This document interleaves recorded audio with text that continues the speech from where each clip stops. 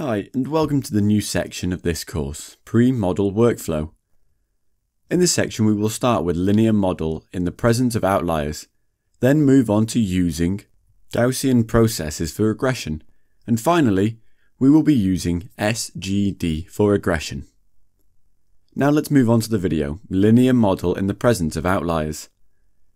In this video, instead of traditional linear regression, we will try using the Theil-Sen estimator, to deal with some outliers.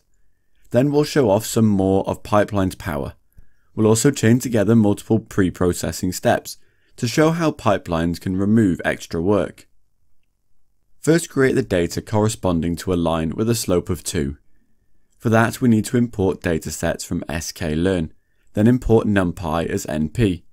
Next import matplotlib.pyplot as plt. Then we will take num points as 100. We will take x values, np.arange, that is num points. Take another variable y truth which equals 2 into x values. Now plot x values, y truth.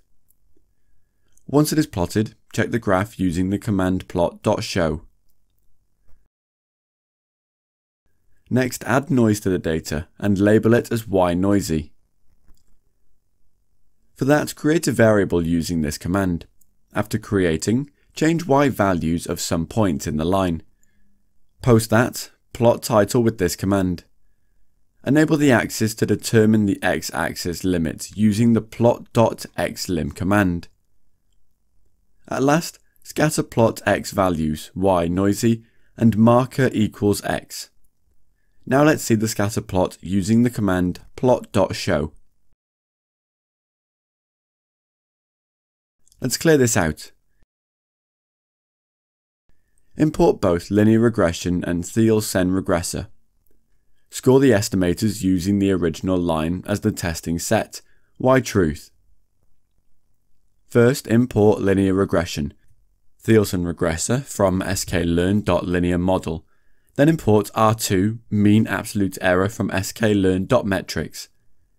With the help of this command, create a named estimator that is OLS and TSR. With this for loop, we will get the OLS's and TSR's R squared and mean absolute error. So here is the R squared and mean absolute error for both.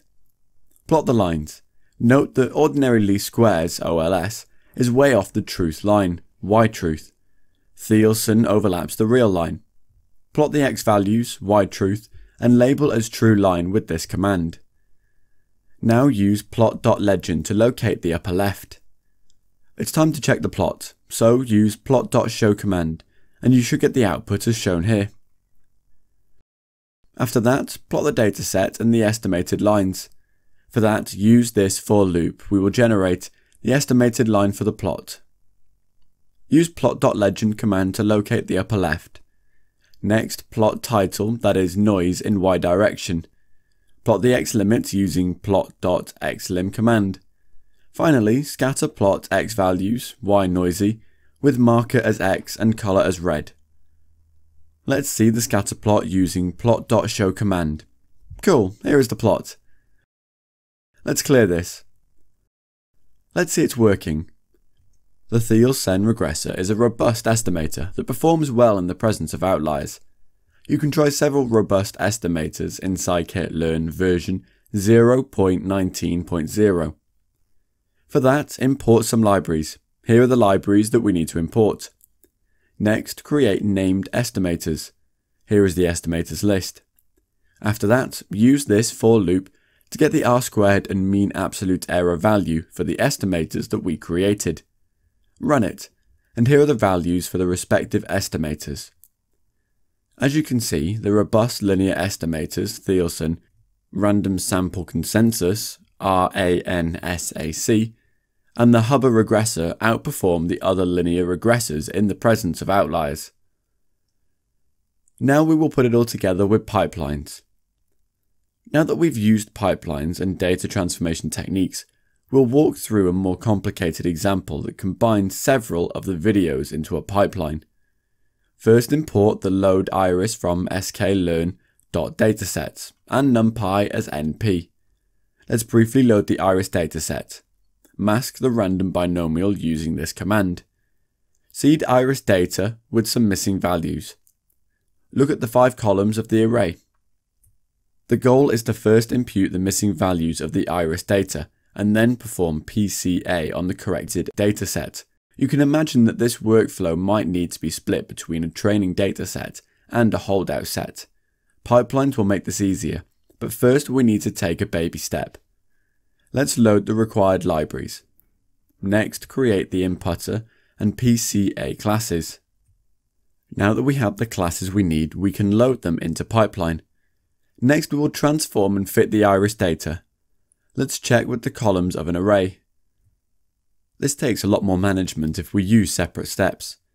Instead of each step requiring a fit transform, this step is performed only once, not to mention that we only have to keep track of one object.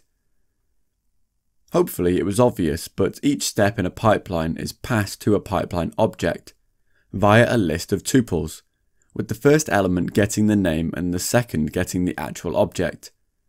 Under the hood, these steps are looped through when a method such as fit transform is called on the pipeline object. Now we will make a pipeline with imputer and PCA. NA with the help of this command, we will get the required pipeline. This is the same object that we created in the more verbose method. So let's transform it using this command. And finally check the columns of an array. We just walked through pipelines at a very high level, but it's unlikely that we will want to apply the base transformation. Therefore, the attributes of each object in a pipeline can be accessed using a set params method, where the parameter follows the step name, step parameter convention. For example, let's change the PCA object to use two components. Here is the entire command. Notice n component equals 2 in the earlier output. Just as a test, we can output the same transformation we have already done twice, and the output will be an n by 2 matrix. So for that, we will create another array that is transformed 3, and we will fit and transform it. So check the columns of the array and you will get the output like this. So here we have come to the end of this video.